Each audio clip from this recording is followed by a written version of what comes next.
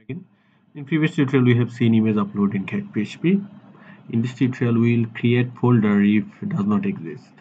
Uh, example we have created target path in here. You can see that this is the web root and this is the image folder. I already have existing folder in here in my web root directory. This is the web root directory and this is the image folder that we are seeing in here. So now if you want to create a new folder into this image folder then uh, this folder uh, you have to create manually or you can create it programmatically. So let's uh, let uh, write some code in here to create uh, new folder if does not exist. Uh, so I'm going in CakePHP documentation. In this documentation you can see in left side in their utility classes there is a folder and file option.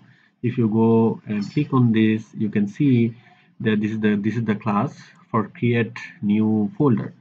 But problem is uh, you can see that there they have given a message in here that this class uh, has deprecated. So now it is time to use simple uh, php make directory uh, function and it's very simple. Uh, you have to just need to write in here for example uh, make directory and there is the four parameters i think. Yeah the first parameter is mandatory and all are the options uh, optional.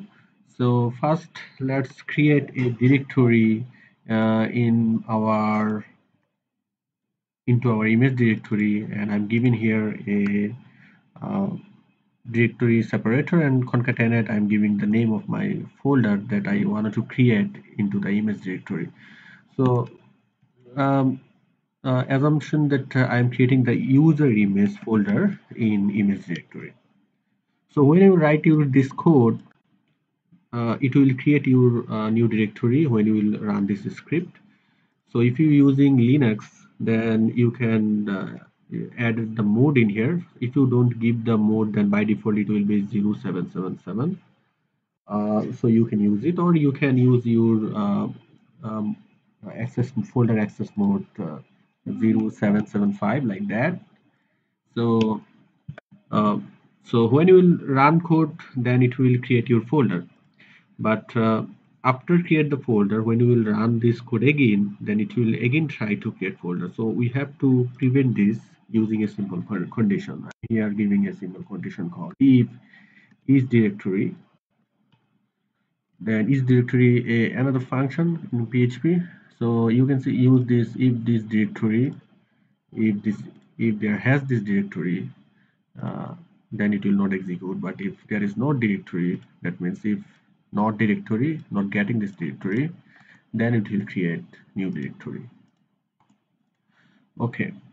So next thing that we have to do we have to mention it in here. So i'm in i'm in here. So i'm just giving the uh, user image directory mentioning the user image directory in our target path. And concatenate in here and using the ds that means directory separator and concatenate again and that name. Same thing uh, we have to um, send this name um, if you want to mention our folder and name uh, or want to save our folder name in our database with name then you can give it in here that call user image and then concatenate a backslash in here and concatenate in here.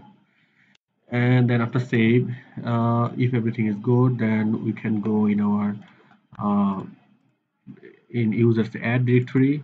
And here you can see that there is no any folder uh, in in my image directory. And so I'm just going to create upload a new image in here or new going to add a new user uh, in here. So let's go. So I'm just creating a new user called test123 uh, giving the email address uh, and the password and uploading a image uh, like that and then save. So you can see it has saved. Now in here you can see in my directory a image directory has been created called user image and this is the image that we are seeing. So now uh, you can see this image also in here uh, but uh, let's see. In our image directory this is the user image yes. So you can see the image directory also in here. You are also seeing this image in here. So if you database if you check in new database you can see the user image this uh, folder name added before the image name. So this is the this is the today's tutorial. Uh, welcome for the next tutorial